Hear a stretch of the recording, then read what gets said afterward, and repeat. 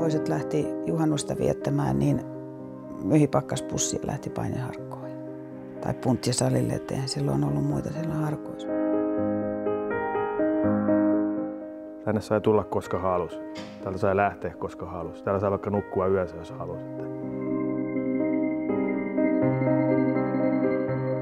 Tai ihmettelin sitä, että kun tänne tuli vierailijoita, niin ne oli aina vähän, vähän ihmeessä, että miten täällä viittii harjoitella ja ylipäätään viettää niin kuin aikaansa.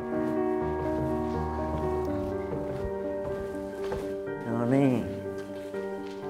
Alakertaa. Tähän mä silloin luhistuin 97. Ainoan kerran, kun piti jättää laihdutus kesken, kun ei päässyt sarjaan. Tässä mä tein päätöksen. Nyt loppu.